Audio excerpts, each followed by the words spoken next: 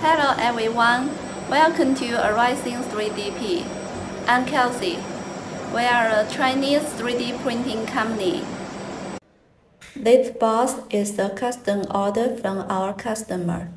Her request was rich in color, so we printed with gradient filament. We offer cost-effective and high-quality 3D printing service. Those pictures are the feedback from her. It's beautiful, isn't it?